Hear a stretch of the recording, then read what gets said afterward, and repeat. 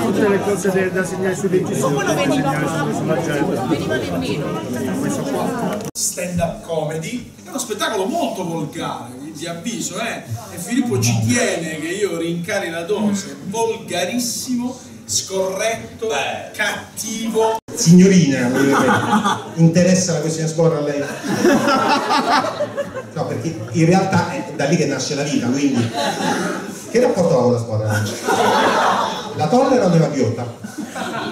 Ogni volta che si parla del maschio come categoria è sempre perché siamo più stupidi, più superficiali, più stronzi, ecco.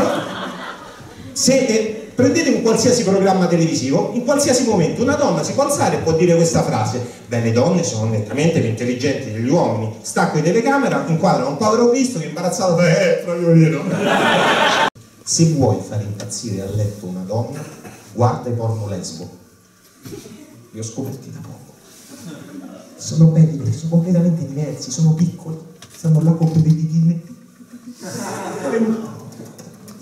Si pettinano. E invece noi come siamo cresciuti? Siamo cresciuti col porno etero che è falso, il porno etero con, una sbattuta su un tavolo e fa sì, scopami, sfondami, sì, te scopo per quattro ore, per cinque ore, e più, diventa rotto, sfondami, spaccami il culo, il bastoni, dai! Quando nella vita reale una donna dopo un quarto d'ora lo sta facendo, se è venuta ti vorrebbe solo dire ma una sigaretta no.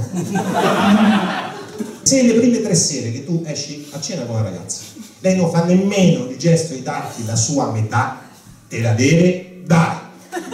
Te la dare, non me la dai, me dai soldi, sti cazzi. Lo so che molte donne staranno pensando, vabbè, ma veramente sei così squallido da aver pianto per andare a letto una donna? A volte no. Le donne belle sono sopravvalutate, diciamo, perché le donne belle non sanno scopare. Mi dispiace, eh, tutte carine, pi, pi, pi, pi, pi, niente, eh, invece quando scopi quei bei cessi, ah! Come scopano bene le donne brutte, trovano ogni volta come se fosse l'ultima. Abbasso le brave ragazze, abbasso le sante, viva le troie, viva le troie! Io quindi per cercare di abituarmi a, fare che cosa? Ad amare la libertà delle donne, perché questo vuol dire amare le troie, mi, mi guardate storte dove è un pezzo femminista quello che ho fatto,